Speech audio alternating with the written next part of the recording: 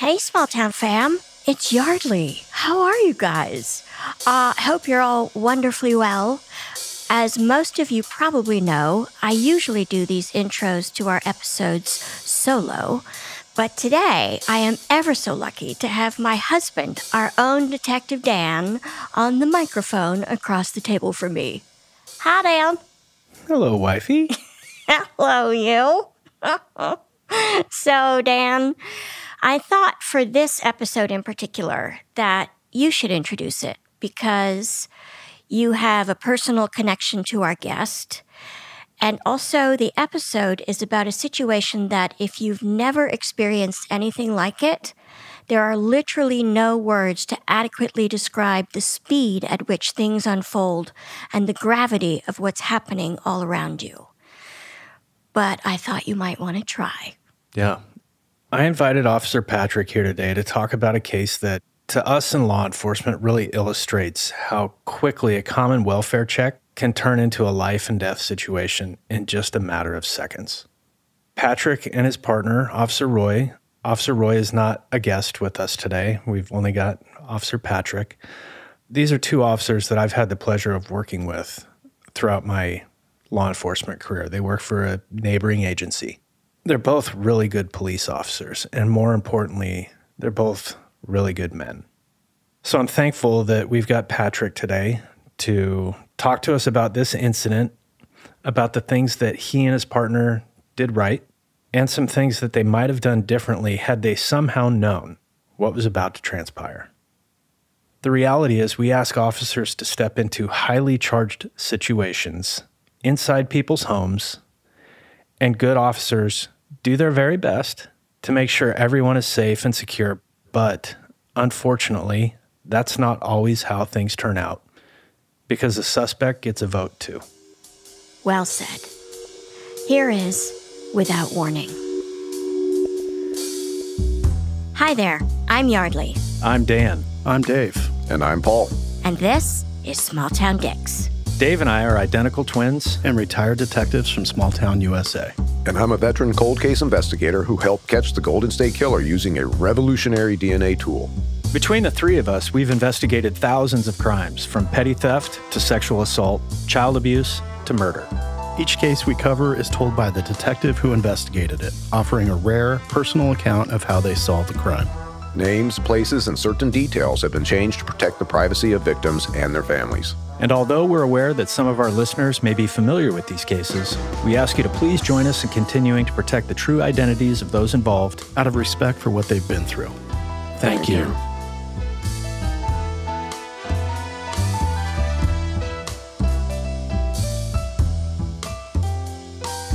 Today on Small Town Dicks, oh boy, we're super lucky. Guess what? We have the usual suspects. We have Detective Dan. Hello, I'm here every time. Yes, you are, but that doesn't make this time any less special than all the other times you've actually been here. Any moment I can spend with you is special. Oh, sweet. Get a fucking room. We have Detective Dave. Present. Present. Grumpy and present, wishing Dan and I would get a room. and we have the one and only Paul Holes. Oh, God. How do I follow that up? I don't know. Hey, hey. Hey, hey. oh, we're so lucky. It's the dream team. And small town fam, we are so pleased to welcome a new guest to the podcast. We have Officer Patrick. Thank you very much. It is my pleasure to be here. Let's just talk about his arrival today. Okay, sure, because it's pretty unique. It is unique. It's a first for us. I mean, we've flown people commercial. We've never had an actual pilot just show up in his own plane. I'm going to tell you, I was aching to say I'm a pilot like the first words out of my mouth, and I didn't say it. I'm a pilot. He's a pilot. I've known Patrick for many years now. We've kind of worked cases together. I mean, I've done search warrants where you've been there and vice versa. Yeah. So, Patrick, your agency is our sister agency, as we referred to it. How many sworn personnel is your agency? That's a good question. I think we're 200 or so, 200 or so sworn. If you include command staff, we usually have a budget for around 86 on patrol. Okay. And you contrast that with our jurisdiction, which we have about 70 sworn and about 38 to 40 on patrol.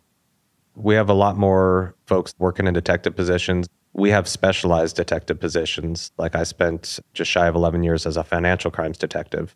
And typically they don't do TV shows about that. So that's really a long time to spend doing financial crimes. Amazing. Okay. So, Patrick, tell us how this case came to you. So we have to go all the way back to 2006. I had been a police officer for about four years. Officer Roy was newer than me. He'd been on for a year, so he's still probationary officer. We hit it off. We were kind of buddies. We worked on the same side of town. He was mature and good at talking to people and had a really even keel temper. We were sent to a quiet neighborhood on the north side of town where just not a whole lot was happening that day. And I remember it was a cold, frigid, cold, crisp February morning in my town. And it was not a particularly busy day. In fact, at the time, it was pretty quiet to use the Q word that you're never supposed to use. But since I'm not working right now, you know, fuck it. and we're on our way to this call, which was basically a nothing kind of call. It was a welfare check on a couple of people, a mom and a son, in a quiet neighborhood on a cul-de-sac where you wouldn't think anything would be happening. Dispatch told us that the reason we were doing a welfare check was because the crisis workers van was broken that day. And what are the crisis workers? the crisis workers go around and help folks that are in usually some kind of distress or they're homeless and they're looking for resources. They give rides to the hospital, they give rides to the shelters or provide some basic medical treatment. A lot of them are EMTs. So they provide a really good service for our community. They're not supposed to go to things where people might be armed or there might be some potential for violence there because they're not equipped for that. Who called the welfare check in? The mom, Debbie, called in and she was concerned because she said her son, Chris, was running the appliances over and over again with nothing in them, running the washing machine and the dishwasher. She called him a menace. Chris needed help. He's in crisis. He has mental health issues. And Debbie wanted him out. She wanted him evicted. Oh. How old's Chris and how old's Debbie? Chris was in his early 20s Debbie was probably in her 40s. In this case, Debbie's description of his behavior was just kind of conflict in the house. And she's asking for an eviction, which is something we don't do as a municipality. That's something only the sheriff's office would do. So Officer Roy went there once before and he told me about it while we were on our way there. Roy recalled talking to these two. In order to resolve the dispute, he had asked Chris to just go for a walk just go for a walk, cool down, and come back a little later today, and that will really, you know, help solve this for now. And if things are still bad, then give us a call back. So Chris took the advice last time, and when we're going to this one, Roy had kind of filled me in that that was how he'd handled it before. We approached this house knowing that there was at least one firearm in this house. Roy was aware of it and said, Chris is a former Marine and had gotten out of the military and he had at least one rifle at the residence. And now we knew where the gun was inside this house. So that was actually one kind of useful thing. So when we went to the front door, we approached it just normal. One of us kind of goes to the door, the other stands kind of off to the side, and we knock, make contact with Debbie at the front door, and she is upset She's having a, a bad time. She's really tired of the issues that her son has caused her.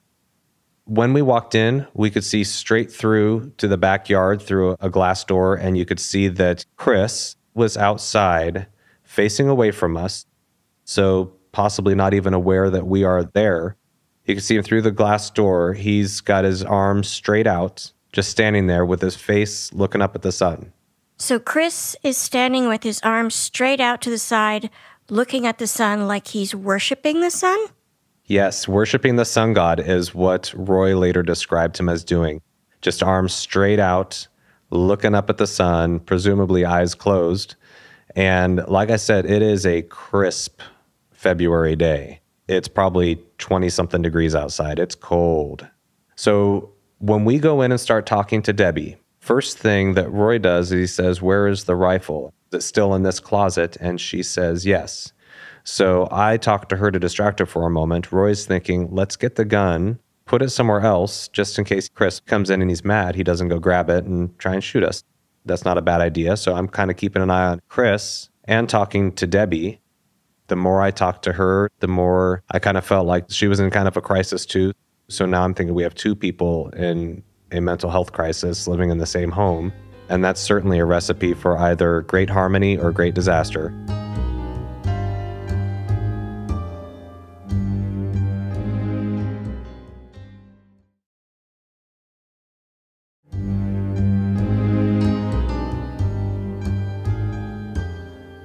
So you have Officer Roy and Officer Pat, and we were both new. So you've got one new guy and one really new guy going to this call that should have been pretty simple, but ended up being a lot more complicated. So I'm keeping an eye on Chris through that door. I'm talking to Debbie at the same time. Officer Roy is going and taking this rifle. He's unloading it completely, putting the rifle in a different place than it was, like in a closet nearby, and then putting the ammo in a different place from that.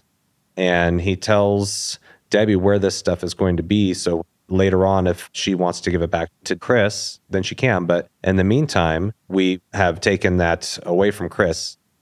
At this point, has Debbie said anything that would lead you to believe that Chris is a danger to himself or posing a threat to her or anyone else?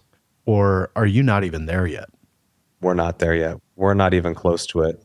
We have Debbie, who's super upset about her appliances being ruined. She feels like her son Chris is a menace to her, and she's not really articulating why. Has Chris lived with Debbie his whole life? When he came back from the military, did he immediately move in with his mother again? So I don't know how immediate it was. I would assume that it was immediate.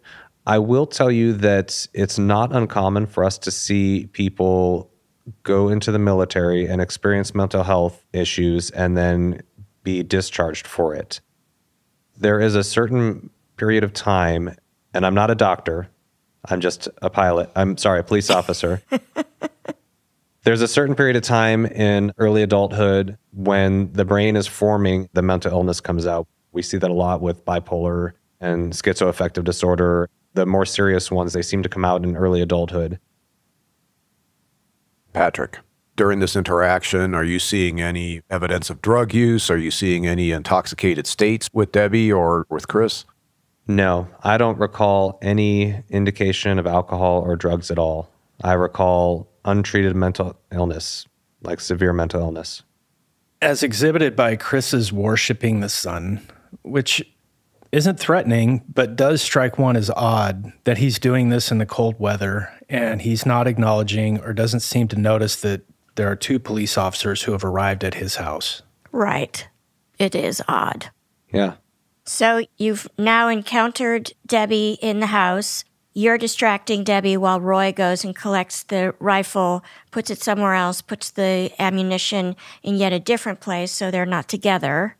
Is Debbie hysterical? How do you engage her to tell you exactly what's going on beyond the appliances being run forever and ever?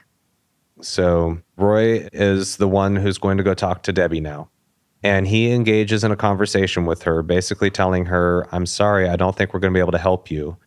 And my buddy, my calm buddy, Officer Roy, was getting to a point where I could see his patience was waning and he was beginning to turn into less calm. And he was on the verge of becoming that other side of him that rarely comes out where he gets frustrated and you can tell. Debbie is yelling at him. She's being unreasonable. So I'm like, hey, why don't I step in here without saying that? I just start talking to Debbie. And Roy kind of takes the hint and kind of moves away a little bit. I start talking to her about the problems they're having. I'm trying to be a good listener and hearing her concerns. And then she's saying, I want him out. I want you to take Chris out of this house. I want to evict him. I have this eviction paperwork right here that says I am evicting Chris from my house. Now, while I am having this conversation with Debbie, Officer Roy says, I'm going to go out and just touch base with Chris. This is a mistake on our part, separating like this. But Roy and I are both new. At the same time, we're two people at a scene with two people. So we have the option of calling another officer to the scene to help us, or we can just handle it. And at the time, we're thinking this is pretty much a big nothing. This was supposed to be a call for the crisis workers, but their van's broken. So here we are. Let's do our best and just kind of resolve it for now. So Officer Roy goes to the backyard to talk to Chris, and I continue to talk to Debbie because she and I are getting along swimmingly. At one point, I've got Debbie in this position where she's saying, Okay, okay, I understand. And then she says, kind of suddenly, If you're not going to help me, then be gone. And she says that word multiple times. That always stuck with me. It's just like, that's a really strange, strange thing to say. But again, I think Debbie was having some mental health issues too. So after she says be gone a couple times, and I try and kind of bring her back to where I'm at, I hear something and I get chills just thinking about it. But I hear something coming from the backyard that absolutely stopped me cold. Just talking about it right now, I still get chills thinking about it. And it's it's so difficult to describe that feeling because you realize life and death is here and it's about to hit you right in the face. So I hear from the backyard a series of gunshots. I hear one, then a couple more. I remember yelling, Get down. And I pushed Debbie away from this sliding glass door just for some concealment and cover for her. I only assume that my intentions were uh, the most heroic and noble at the time, although I don't recall doing it. Apparently, I move out of my area of covering concealment because I realize in the backyard of this place, Officer Roy is potentially getting shot.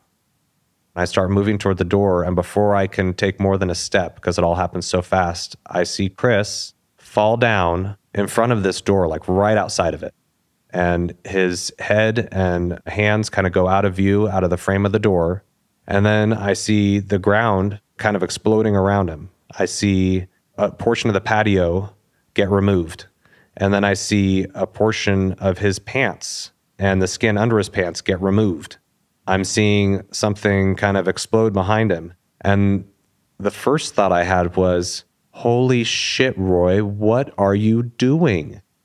And as I'm having that thought, I see Chris and he starts to sit up. Not all the way, just enough to get his shoulders and his arms and his hands out in front of him as if to shoot from a laying down position as we've practiced at the range. And I see a gun in his hands that I hadn't seen before. Chris has a trained grip on this weapon. He knows what he's doing and he has a very deliberate intent and my assumption at this point is that since he's lying down, he's not even thinking about me at this point. And I key my mic, say code three cover, shots fired. And as I'm doing this, I fire four shots at Chris. Shots fired, shots fired, shots fired. Shots fired. Code three cover. What's your location? Oh my God. And that's your actual radio traffic we just heard? Yeah. There's all this commotion on the radio after that. Everybody's trying to talk at the same time, and all it produced was a bunch of squawks and beeps. Shots fired. Suspect down. Code three cover. Code three medic. Stage 1, Territory 20, it's code 10, and everybody stay off the air. Just respond. Station 1, uh, code 10. All units stay off the air. It all happened so fast. And then I look out at this body on this back porch, and there's no movement. And I walk up there and I can see immediately Chris is deceased. The color is gone from him immediately, and I could tell right away that Chris is not alive.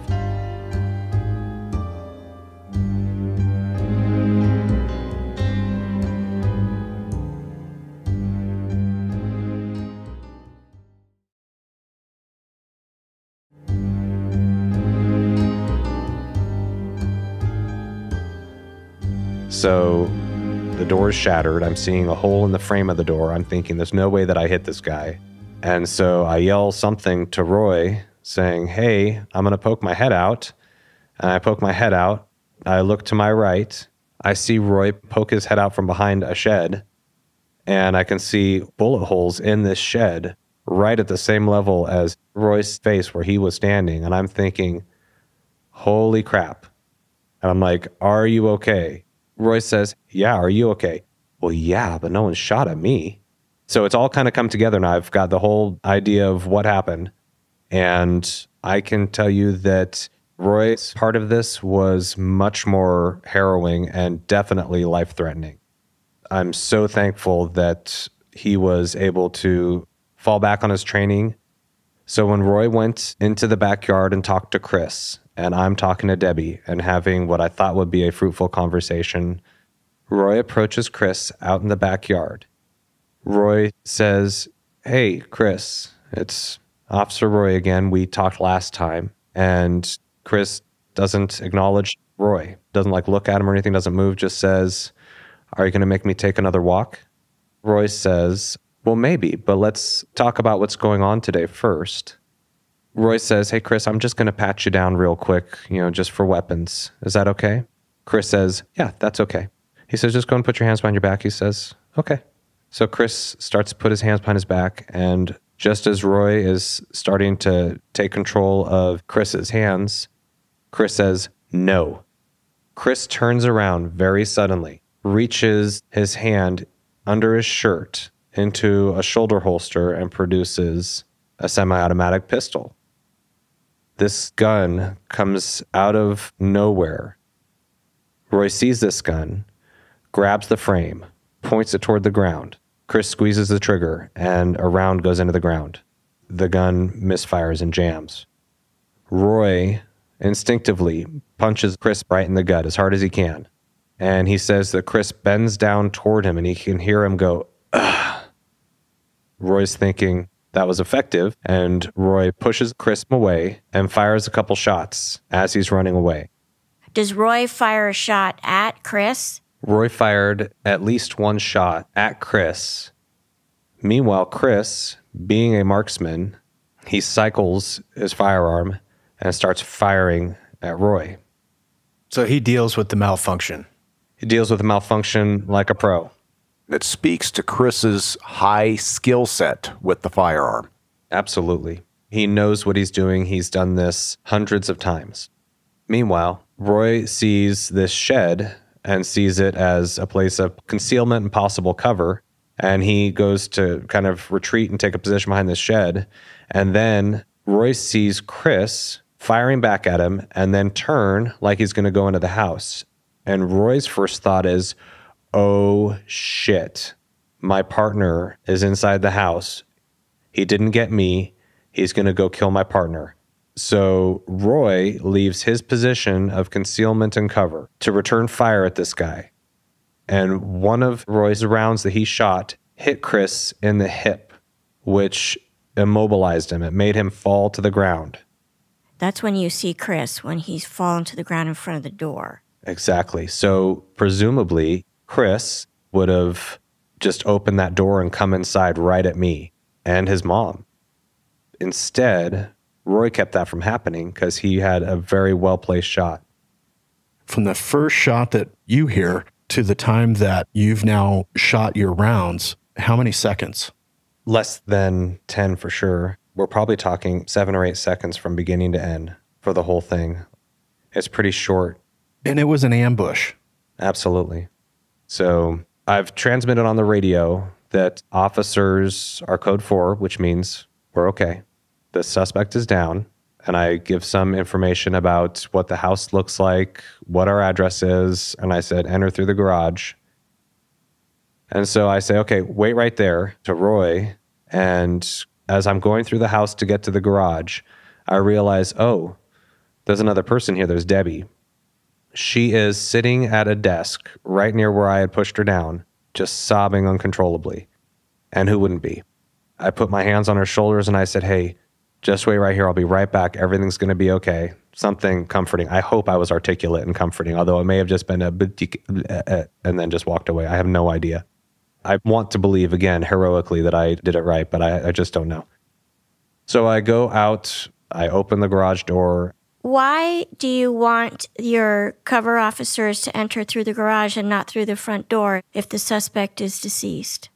I was thinking tactically it might be easier to just have everyone use one entrance, and that's one wide entrance. And I was thinking I'm going to be standing by there. You saying come in through the garage, I think about that as an investigator as a great move on your part because your shell casings are inside the house. That's correct. So when you have fire personnel who come in or other police officers, things get kicked around and it's usually shell casings. The actual position of these shell casings in the house is going to tell a very clear story to seasoned investigators, and it's very important evidence. I agree. And I don't know that I had that in my uh, fairly young officer mind at the time, but it certainly must have been helpful to them later on.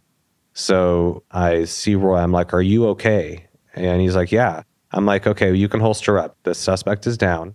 Roy starts to holster up and looking at me like, No, I don't need to holster. Uh, no, I'm not holstering up.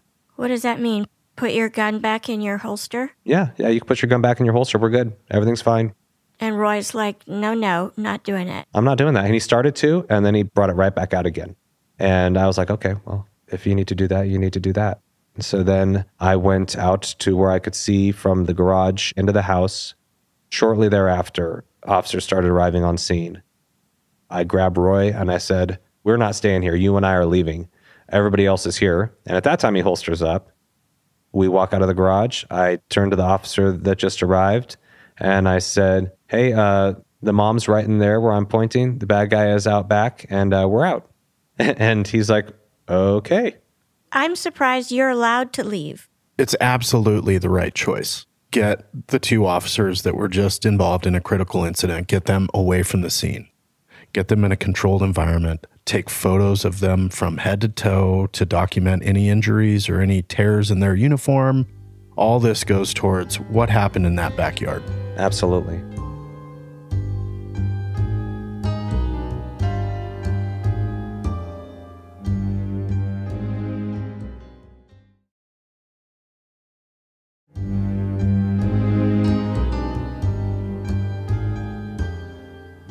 After the shooting, do you leave the scene? Where does it go from there? There were seven or nine newly promoted sergeants who were all in a big white van pulling up as we're walking out of this garage. So conveniently, they take them out of the van and load us into the van. And then we sat in that van. It seemed like we were there for an hour. Nowadays, I don't think they would have us sitting together. I think they would separate us. But they just sat us in that van, had us sitting there just kind of chilling. And we're both just kind of in shock like, did this really just happen? So we sat there and sat there and sat there. And then eventually they drove us to the police department, went to the union office, and got to talk to our union rep who had no idea what had happened. I told him the story and he goes, Oh, you guys are fine. And I was like, Really? Okay, cool. He's like, Yeah, you guys are fine. You guys are golden. And the attorney's like, Yeah, you guys are good. Don't worry about it. You're, you're good. You did everything right. And I was like, Oh, good. Okay. They tell you to not worry about it, but you're a human. You know what you're involved in. Yeah. Really, it is a pretty big deal to shoot your gun inside of city limits and hit a person. You're a suspect in a homicide. Basically, yeah. How did you and Roy really deal with that? How did you guys navigate the next few days? I think we focused more on just family at that point and kind of decompressing. I remember at the time I bought a video game and thought I'm just going to play a video game for a couple days and take my mind off of everything, just mind numbing. And I could not get into it. Tried engaging in other hobbies, but I could not get my mind into anything. I couldn't enjoy anything. Like there was this thing in the back of my mind that is like, I need to play this incident for you again. And that's all we're really going to think about. It got less frequent as the days went on, but initially it's just over and over again. All I'm seeing is what happened, a matter of a few seconds going on it's definitely changed how I responded to things in the future. In fact, I almost left police work because of it, because I went back to the job after a couple weeks. At the time, it was customary to take a few days off, maybe a week. I took two just because I felt like it. Even after that, I really didn't want to go back. And when I did go back, every call I went to, I felt was going to be a shooting. And I was beyond hyper vigilant. I was so excessively hyper vigilant that it just became stressful, it became really stressful. And I'm sure part of that was just my human psychology saying, hey, you could have died that day. We got to protect you by having you be much more aware and much more vigilant in the future. But man, it was a lot to take on. So it completely changed the dynamic. And that took a while to go away. I know the feeling. How did you get it to go away? Time. Time helped quite a bit. I had some good coworkers who were good sounding boards that I could talk to. I had some good support people. They really made a difference. I to this day feel some guilt over it. I feel bad about the life that was lost because that was someone's baby. You know, I, I don't feel good about it. I don't feel proud of that aspect of it. I feel proud for surviving. Mostly, I feel proud of Roy. I mean, he's the hero of that hour. He took on someone who tried to ambush him, and Roy overcame all of that, fought back, fought back hard, left without any physical injury, I cannot express how much respect I have for Roy for the way that he fought through that. My part was so much smaller and kind of ancillary. I spent a few days thinking I did nothing useful there other than put rounds through a door frame, put rounds through a glass door, and push an old lady onto the ground. So you were not aware that you'd ever hit Chris with your bullets? I was not aware. Where did your bullets go? I don't find that out till after they've already done their investigation. I fired four rounds. When I guessed, I guessed I fired three and I was wrong. I fired four rounds, and you could tell by the trajectory from where I was at very distinctly, they must have come from my direction. One of my rounds hit Chris in the leg. One round went into his abdomen. One round went into his chest, would have been fatal and then one round went into his brainstem and killed him instantly. Now, what none of us knew at the time is that Chris was already fatally wounded. He already had a wound to his chest, which would cause him to bleed out in a matter of a minute. Where did the chest wound come from? That came from Roy. I want to say that Roy hit Chris four times out of nine shots that he fired.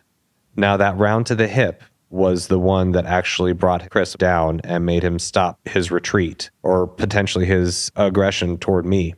And when he fell in front of me, I had no idea that he had been hit in the hip. How many shots did Chris get off in this exchange? That's a really good question. Chris must have gotten off between six and 10 shots, and there were casings all over that backyard. Shell casings, they bounce around like footballs. Oh, yeah. I've responded out to so many officer involved shootings and processed those crime scenes and documented the officers and their firearms. And early on, you know, the information that we get are the initial statements from the officers as Officer Pat said, you know, he he didn't recall the number of shots he fired accurately. That is typical. And so the crime scene investigators have to do an extraordinarily thorough search because they can't rely on, oh, he only fired three times. Well, I found three cartridge cases, I'm done. You have to be able to look everywhere. You have to be thorough for everyone's sake. So, Patrick, what else did the investigators find in the house? Well, during the investigation, the detectives did a search warrant of the house and found two submachine guns. Chris had a Tech 9 and then a Mac 10 with an extended magazine, held a ridiculous number of rounds, like extended the handle of the, the gun significantly. And I remember thinking, holy crap, this could have gone a whole lot differently. And then I went back to thinking about our crisis workers and how they were the ones who were supposed to go when their van was down that day. Well, what if they had gone? Would they have gotten shot? or would the whole thing have been avoided completely? There's a lot more that we would find out later about his state of mind. It makes sense, like from his kind of delusional state, why he would react the way that he did. So, Chris was very paranoid and very delusional. And the best guess from the investigators was that he thought that we were there to take him away. To like a, a mental hospital or something? To take him away. The government was there to take him away Oh, To where I don't know. This really underscores the danger to Officer Roy and, and quite frankly, Officer Pat and Debbie, because you have a highly trained military guy who knows what he's doing with this firearm. And not only that, he's not okay. He's a guy with all this training and he's not okay. Patrick, were you afraid that someone was going to die that day? I don't recall even having the chance to think about fear. My body, my mind, my subconscious all took care of everything for me. I didn't have to do anything. I was along for the ride. I've hit four very distinct areas of a body in defense of another person with very little conscious thought process actually happening. And you don't remember much of that at all, other than you're in the situation. Other than I'm watching this whole thing unfold and I am taking action and action I did not have really the presence of mind to be able to make any kind of adjustments, just falling back on all the training that I'd been given and falling back on instincts. It's muscle memory. Exactly. There's so much autopilot involved. Oh, I said pilot again.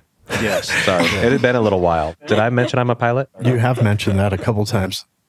Thank you so much for bringing that to us, Patrick. I honestly can't imagine what it must be like to have that as one of the memories as part of your life.